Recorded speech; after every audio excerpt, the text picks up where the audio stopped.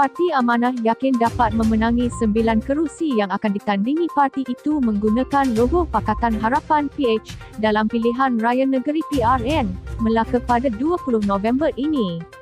Pengarah Pilihan Raya Amanah Nasional Datuk Asmuni Awi berkata keyakinan itu berdasarkan hasil kajian rambang di peringkat akar undi yang mendapati kebanyakan pengundi di negeri itu masih menyokong PH peluang untuk menang ke semua kerusi dalam PRN Melaka adalah cerah dan bagus dengan isu-isu tempatan yang ada dan kita pun boleh bergerak mendekati pengundi semasa berkempen mengikut prosedur operasi standard SOP yang telah ditetapkan. Bagaimanapun, kita PH tidak sekali-kali memandang rendah kekuatan pihak lawan walaupun berlakunya perpecahan politik dalam kalangan mereka tetapi kita perlu menghormati kekuatan mereka kerana kadang-kadang kelemahan yang ada itu dapat diatasi melalui pengalaman yang ada, katanya.